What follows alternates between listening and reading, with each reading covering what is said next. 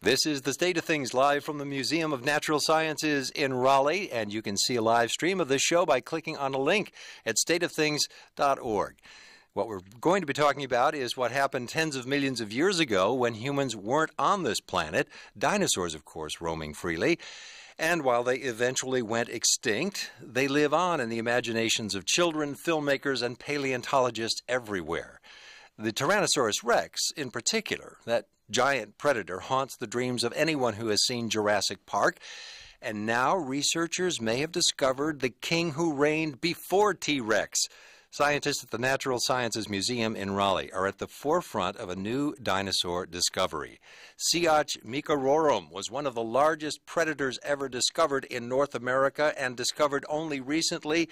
Lindsay Zanno co discovered Siats. She is the Director of Paleontology and Geology Research at the museum, and she joins me now. Lindsay, welcome back. Good to have you here. Thank you. Pleasure to be here. Congratulations. This is very exciting. You've It discovered is. a new dinosaur. It's very exciting for us. This uh, this animal of this size hasn't been discovered in North America in 63 years, and so this is a really special event. Tell us about Siats. Siats was a colossal megapredator. It was a carnivore that hunted about 98 million years ago in the western part of North America, hunted long-necked dinosaurs and early duck-billed dinosaurs. And how did, how did you find it? Where you found uh, Siats in, in Utah? We discovered the bones of Siats in Utah. I was out uh, walking the hills just like paleontologists do. We have no high tech way of finding dinosaurs. We simply get out there and put our eyes on the ground, and I spotted the bones of Siats already eroding out of the hillside. It was sticking up out of the ground. Yeah, in fact, almost every dinosaur that we find is already being destroyed at the surface of the ground when we find it. And it's a sort of a race to get the bones out of the ground before they're all destroyed. How much of Siats was left when you got there? Not a ton of Siats has been preserved. There's um, lots of bones from the spine and tail of this animal, the hip and the leg, but we don't re- we don't right now have any bones of the skull. We don't have any bones of the forearm. So, how do you know that this is a dinosaur we don't know about already? Well, for starters, Siats comes from a gap of about 60 million years when paleontologists for over half a century have not known who the major predator was roaming around in western North America during this time. So we knew even before we found Siats that if we could stumble across the bones of one of these dinosaurs, it would be something new. Uh, but to demonstrate that, we actually have to go all around the world and compare the bones that we have to all the known bones of similar animals and see if we can distinguish it as something different. And how do you do that? Is it just visual or do you do chemical tests? How do you know it's a different bone? Well, we do visual tests. We do a lot of 3D uh, animation and modeling now to help us compare bones from different animals. But basically, it's the same way we've done paleo for over a century, which is, you know, making those comparative looks at these bones. And how do you know? And, and a meat eater, obviously, carnivore predator. How do you know? Well, we do have some teeth uh, that are referred to this animal, but even without that, just the skeleton alone is enough to tell us. All predatory dinosaurs walked on two legs.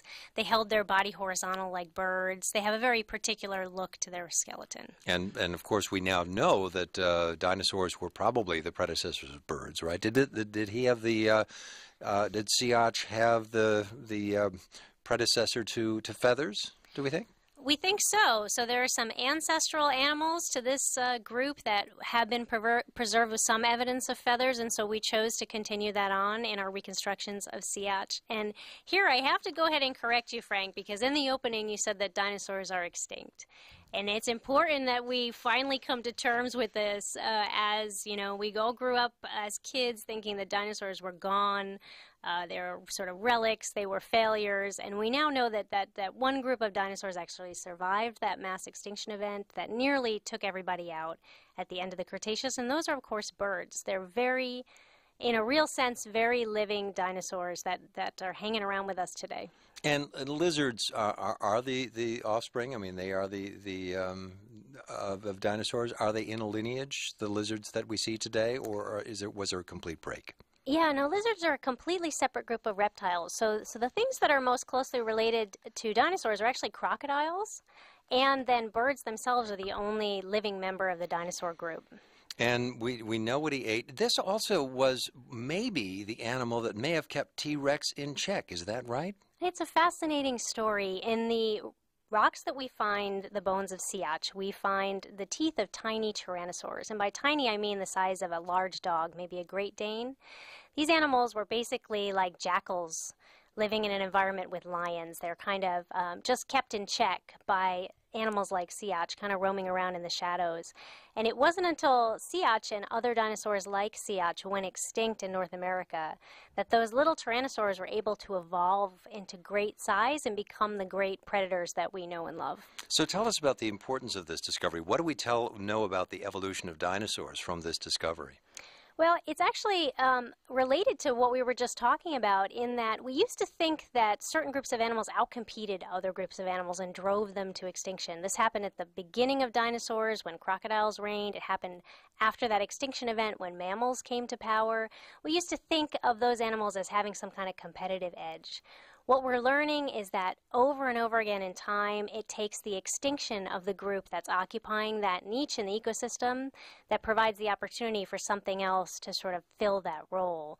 And that's a pattern we see again and again through time. And I'm fairly certain, given our modern biodiversity crisis, we're losing all our top predators right now. We're going to see something similar. What do you think uh, did in Siats?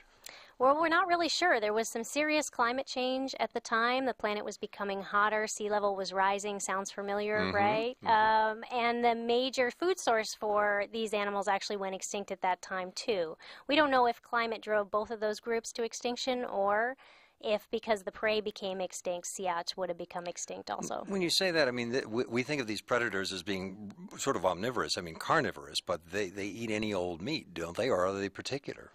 Well, it's hard to say. I mean, we don't want to stretch the science too far. What we can do is we can look at the bones of animals and we can look for bite marks that give us conclusive evidence about what Siats was eating. We haven't gotten that far in this project yet. This is the first big announcement that we've made.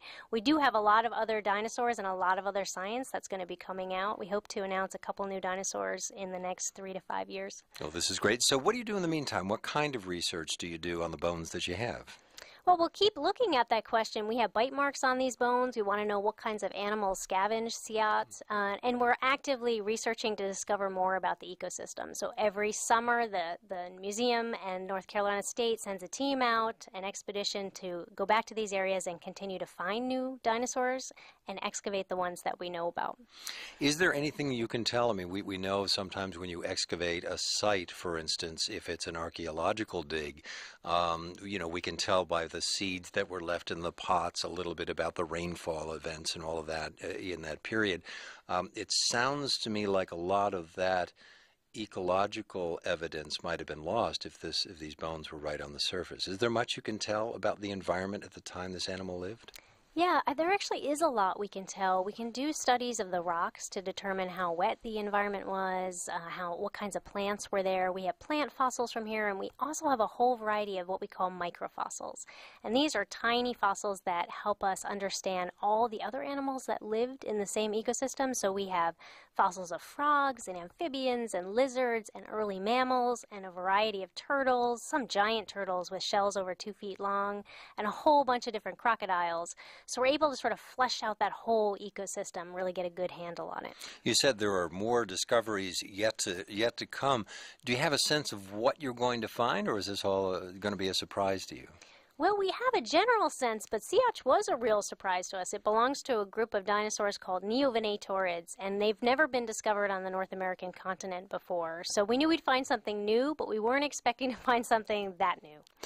Now, I have to ask you about the name. Siats, not bad, but Meekerorum, I mean, Meek and Predator. That's my problem. I know. It's no T Rex of a name, is it? But you know, the Meeker family actually sponsored some of the research early on, and we, we really like to pay special homage to those people that make the science happen. And can you tell if there is uh, a genealogy? Did these things uh, simply fall off the face of the earth and go extinct, or was there some version of them that, that sort of carried on? Well, these animals are actually known from almost every continent. So this is the story here in North America that they went extinct and were replaced by tyrannosaurs. It's also probably the same story in Asia, but in South America and Africa and Australia, these animals were the top dog in their ecosystem well into the time when T Rex ruled. In fact, they got even bigger than T Rex down in South America. So they were still the top dog on the block down there. Oh, so they were contemporary then at, at some point. Um, well, you said they were here. There was just a a tinier T Rex that they had to deal with in North America. Correct. Somehow T Rex got bigger, and uh, it drove in other parts of the world. It drove Siats to compete and get get larger. You're suggesting, perhaps. Well, we're suggesting that Siats, just by virtue of its large size, kept Tyrannosaurs from getting big here, and it wasn't until they really were had gone extinct in North America that, that tyrannosaurs were able to occupy that niche. So maybe if Siats hadn't ever gone extinct, we never would have seen the evolution of T Rex. Oh man, the, the movie industry would be forever, forever bereft. Congratulations again, Lindsay. So great to talk with you. Thank you so much, Frank. Lindsay Zanno, the director of paleontology and geology research at this museum. And just ahead, we're going to talk to a roundtable about the intersection of science and policy. You can watch this program if you want on the internet. Uh, we are live streaming, and if you you go to our website, stateofthings.org, you can see a live stream of our program live from the North Carolina Museum of Natural Sciences on the State of Things from North Carolina Public Radio, a broadcast service of the University of North Carolina, Chapel Hill. Please stay with us. Thank